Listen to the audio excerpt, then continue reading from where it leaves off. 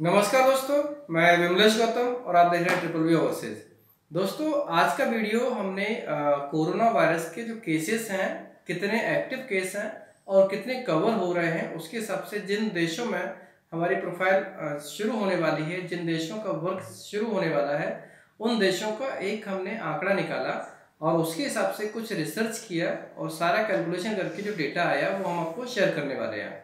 आज की डेट आज दस अप्रैल है।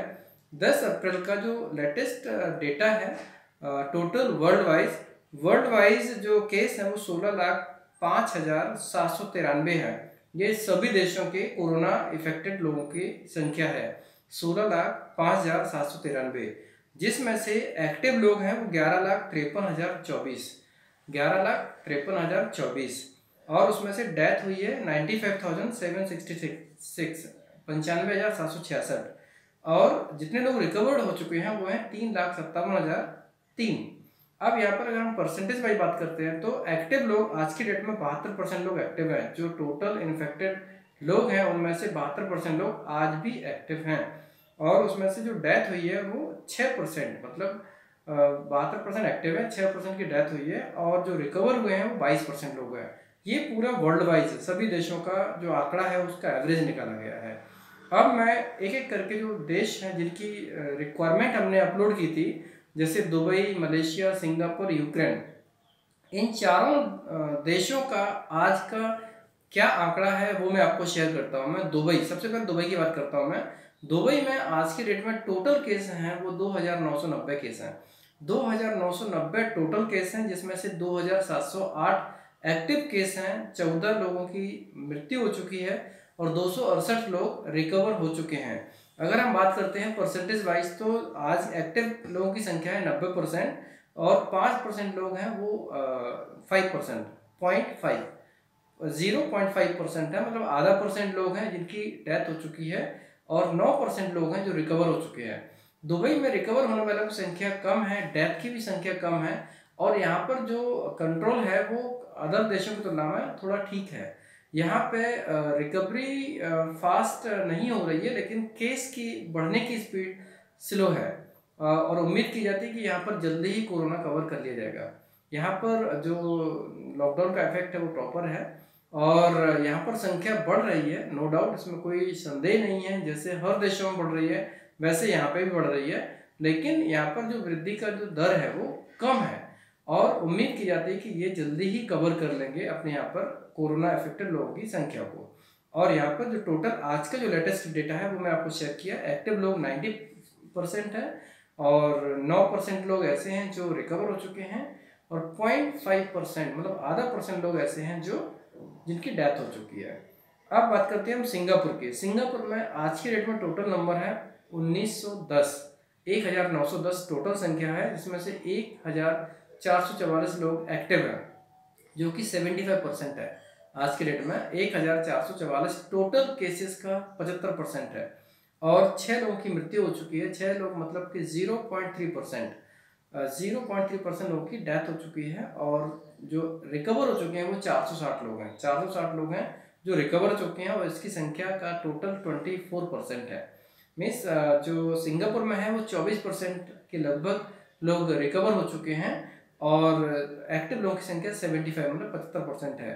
यूक्रेन यूक्रेन में टोटल संख्या है दो हज़ार दो सौ तीन। दो हज़ार दो सौ तीन लोगों की संख्या है इसमें टोटल जिसमें से दो हज़ार तिहत्तर लोग एक्टिव हैं। मीन्स चौरानवे परसेंट लोग एक्टिव हैं। दो हज़ार तिहत्तर लोग एक्टिव हैं और उसमें से सिक्सटी नाइन लोग मीन्स तीन परसेंट लोगों की डेथ हो चुकी है और इकसठ लोग इकसठ लोग मतलब तीन परसेंट लोग ऐसे, लगभग तीन परसेंट के लगभग ऐसे लोग हैं जो रिकवर कर लिए गए हैं। मीन्स यहाँ पर लगभग तीन परसेंट लोगों की डेथ हो चुकी है और लगभग तीन परसेंट लोग ऐसे हैं जो कवर कर लिए गए हैं, जो बीमारी से ठीक हो चुके हैं। ऐसे लगभग तीन परसेंट की संख्या है इकसठ लोगों की।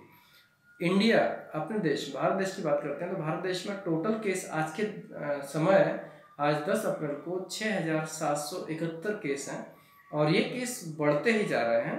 ये टोटल और इसमें एक्टिव लोगों की संख्या है पाँच हज़ार नौ सौ आठ। पाँच हज़ार नौ सौ आठ जो कि सतासी परसेंट है टोटल केस का। पाँच हज़ार नौ सौ आठ लोग एक्टिव हैं आज की डेट में। सतासी परसेंट लोग एक्टिव हैं। 228 लोगों की मृत्यु हो चुकी है मीन्स तीन परसेंट लोगों की मृत्यु हो चुकी है, तीन परसेंट लोगों की। और 635 लोग रिकवर हो चुके हैं। लगभग नौ परसेंट लोग रिकवर हो चुके हैं। और अब बात करते हैं मलेशिया की। मलेशिया में टोटल जो केस हैं वो चार हज़ार दो सौ अट्ठाईस केस हैं। चार हज़ार दो सौ अट्ठाईस केस हैं, जिसमें से दो हज़ार पाँच सौ तिरपन केस हैं। साठ परसेंट केस एक्टिव हैं, सिक्सटी परसेंट केस एक्टिव हैं। सड़सठ लोगों की डेथ हो चुकी है, लगभग डेढ़ परसेंट के लगभग लोग हैं जिनकी डेथ हो चुकी है। और जो रिकवर हो चुके हैं वो एक हज़ार छः सौ आठ। मतलब कि अड़तीस परसेंट जैसे लोग रिकवर हो चुके हैं। अगर हम बात करते हैं दूसरे देशों की तुलना में तो मलेशिया में केस तो बढ़ रहे हैं। स्पीड स्लो है और यहाँ पर रिकवरी की जो स्पीड है वो काफ़ी अच्छी है। पूरी दुनिया का जो एवरेज निकाला गया है वो लगभग 22 परसेंट रिकवरी है। 22 परसेंट लोग ठीक हुए हैं, वहीं पर मलेशिया में 38 परसेंट लोग ठीक हुए हैं। और यहाँ पर बढ़ने की केस बढ़ने की संख्या भी कम है। इसलिए जो लॉकडाउन है या जो कोरोना का इफ़ेक्ट है वो जब भी कंप्लीट होगा तो सबसे पहले जो इफ़ेक्ट पड़ेगा लॉकडाउन खुलने में कंट्रीज़ का जो वर्क स्टार्ट होने में वीज़ा स्टार्ट होने में एम्बेसी स्टार्ट होने में, उसमें मलेशिया सबसे पहले शुरू हो सकती है। क्योंकि जिस तरीके से उनकी रिकवरी हो रही है, उस तरीके से और वहाँ का लॉकडाउन भी काफ़ी सिंपल है। मीन्स वहाँ के लॉकडाउन में सब कुछ बंद नहीं है। जो बहुत महत्वपूर्ण चीज़ें हैं, रोज़मर्रा की चीज़ें हैं, वो सब चालू रहेंगी। ट्रांसपोर्ट है, टैक्सी आप ले जा सकते हो, पेट्रोल पंप चालू है, रेस्टोरेंट चालू है, फ़ूड के लिए कोई प्रॉब्लम नहीं है। इसलिए वहाँ पर रिकवरी हो जाएगी और इसके अलावा जो हमारी क्लाइंट है, वो क्लाइंट सिटी से बाहर के होते हैं। इसलिए ये तीन देशों एक्चुअली चार देशों की बात करूँगा, ये चार देश दूसरे देशों की तुलना में जल्दी काम स्टार्ट करेंगे, जिसमें से सबसे पहले मलेशिया शुरू होने की उम्मीद है। उसके बाद फिर सिंगापुर शुरू होगा, दुबई भी साथ साथ में शुरू होगा यूक्रेन के बारे में अभी हम अपडेट नहीं दे पाएँगे कि यूक्रेन यूरोपियन कंट्री है वहाँ पर क्या गाइडेंस होगा वो जब आ, सब कुछ इफ़ेक्ट खत्म हो जाएगा तब पता चलेगा लेकिन यूक्रेन बाकी देशों की तुलना में जल्दी चालू होगा। मैं एक बार दोबारा रिपीट करता हूँ मैं। जब ये एम्बेसी का काम चालू होगा लॉकडाउन का इफ़ेक्ट खत्म होगा तो सबसे पहले मलेशिया स्टार्ट होगा उसके बाद सिंगापुर स्टार्ट होगा दुबई स्टार्ट होगा और उसके बाद यूक्रेन स्टार्ट होगा। बाकी देशों के बारे में हम बात नहीं कर सकते हैं क्योंकि उसमें, उनमें कोरोना का इफ़ेक्ट बहुत ज़्यादा है। सऊदी, कुवैत, कतर, इन सब में बहुत ज़्यादा इफ़ेक्ट है और वहाँ पर अभी काम शुरू होने में समय लगेगा। दोस्तों, जिन लोगों को भी दुबई में, सिंगापुर में और मलेशिया में अप्लाई करना है, वो लोग अपने आप को रेडी रखें। जिन लोगों ने अप्लाई किया है, वो लोग सब रखें, इंतज़ार करें उनका प्रोफ़ाइल आगे प्रोसेस में ही है। जैसे भी एम्बेसी चालू होती है, उनका वीज़ा अप्लाई हो जाएगा और वीज़ा आ जाएगा। और जो लोग अप्लाई करना चाहते हैं, वो लोग जैसे भी लॉकडाउन खत्म होता है मेडिकल करवा के रिपोर्ट सबमिट करें, उनके बाद उनका भी वीज़ा फास्ट इशू हो जाएगा। दोस्तों, ये आज तक का लेटेस्ट अपडेट है। हम आपको समय समय पर इसके बारे में अवगत कराते रहेंगे केस के बारे में क्या अपडेट है और कितनी संख्या बढ़ रही है, कितनी रिकवरी हो रही है, इसमें क्या आगे एडवांटेज हैं और इसमें जो टोटल नंबर्स की बढ़ोतरी की जो स्पीड है, वो स्लो हो हम ऐसी उम्मीद करते हैं कि आगे बढ़ना नहीं चाहिए और लोग ज़्यादा से ज़्यादा लोग कवर होना चाहिए।